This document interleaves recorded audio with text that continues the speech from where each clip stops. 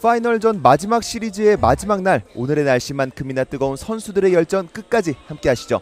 2022 고성통일 전국 실업 육상 경기 대회 필드 3일차 보내드립니다. 첫 번째 경기 원반 던지기 여자부 결승전입니다. 안녕하십니까 캐스터 금호섭입니다. 1일차, 2일차에 이어서 마지막 날에도 제 옆에 이규백 해설위원 함께하고 계십니다. 안녕하십니까? 예, 안녕하십니까. 오늘 원반 던지기 여자부 결승전에 출전하는 다섯 명의 선수 소개해드리겠습니다. 창원시청의 김우전, 음성구청의 정채윤, 논산시청의 박세리, 포항시청의 정지혜, 익산시청의 신유진 이렇게 다섯 명의 선수가 출전하겠습니다. 67번을 달고 있는 박세리 선수, 논산시청의 박세리 선수가 첫 번째 포환을 던질 준비하고 있습니다. 예비 동작 이후에 턴을 가져갔고요. 힘껏 던져 봅니다. 떨어졌는데요. 일단 떨어진 곳은 50m 라인은 넘겼습니다. 예, 이 선수도 최고 기록이 54m까지 던진 걸로 알고 있는데요. 네. 지금 어, 던지는 동작에서 좀 온반을 너무 위로 떼었네요. 아하. 조금만 각을 좀 내려서 던졌으면 아마 최고 기록 가까운 어, 한 53위 정도가 나가지 않았나. 다들 50m는 다들 던지면서 넘어가는 선수들이니까요. 네. 출전하는 선수들의 PB만 확인하더라도 50m는 훌쩍 예, 넘는 예. 선수들이 그리고 얼마 전 선수권 대회에서도 우리 정채윤 선수가 아마 3위를 했을 겁니다. 그리고 잘 던졌거든요. 그러니까 뭐 잘 풀어 나가겠습니다. 그렇습니다. 나가겠죠. 예.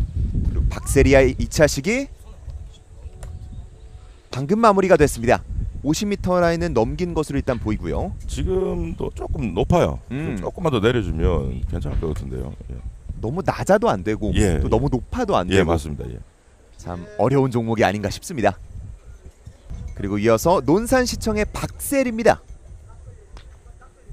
1차 시기 50m 74 가장 높은 기록이고요. 지금까지 던진 공 쏘는 그리면서 50m 라인 아슬아슬하게 넘기지 예, 못했습니다. 지금은 뭐 마지막 샷에 좀 빨랐어요 동작에서 음. 그대로 좀 조금만 더 기다려주고 어, 오른쪽으로 조금 팔을 조금만 더 뻗어주면 더 음. 나갈 건데 지금은 동작이 좀 빨랐습니다. 본인 스스로도 던지자마자 이 원반을 보면서 약간 아쉬워하는 모습이 예. 눈에 보였었고요. 보통 이제 던지고 나면 선수들이 이게 잘 나가는지 안 나가는지 감으로 다들 알 수 있거든요. 네.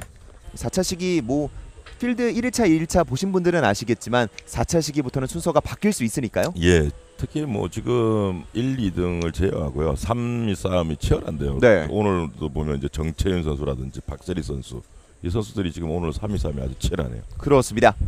1차 시기 50m 74의 박셀이 네 번째 원반 던지기를 방금 마쳤습니다.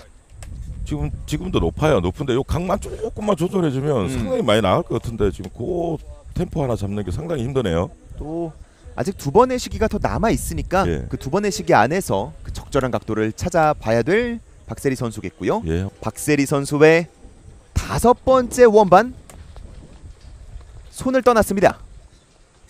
그렇죠. 조금 더 아. 나갔죠. 예. 지금 일단은 51m는 확실히 넘긴 것으로 보였고요. 예. 52m 정도가 나간 것 같은데요. 52m 한 30 정도 나간 것 같은데요. 보는 느낌에. 진짜 들리는 건 아니겠죠? 박세리 선수의 아 지금 52m 아, 50m. 1cm 예, 되지 예, 않았습니다. 예, 예. 이 논산 시청의 박세리가 마지막으로 서클 안 들어왔습니다. 예, 왼발을 받쳐놓고 그냥 그대로 밀어주면 크게 밀어주면 잘 나갈 것 같은데 너무 자꾸 띄우니까요. 한번 보겠습니다. 예비 동작 팔을 휘두르면서 앞쪽으로 떨어진 곳 아 마지막 네. 6차 시기가 50m 라인을 넘기지 못한 것으로 지금 보입니다. 지금처럼 손가락에서 빠, 컨트롤이 안 되면 원반이 지금처럼 막 흔들리면서 날아가거든요. 음. 이쁘게 날아가지 않고. 그러니까 아마 던질 때 지금 힘이 들어간 거예요. 힘이 들어가다 보니까 손가락 쪽에서도 힘이 들어가다 보니까 원반에 대한 컨트롤이 안 되고 거기서 빠져버리는 경향이 나니까 지금 원반이 막 움직이면서 그러니까 춤추는 것 같이 보이는 거죠. 예.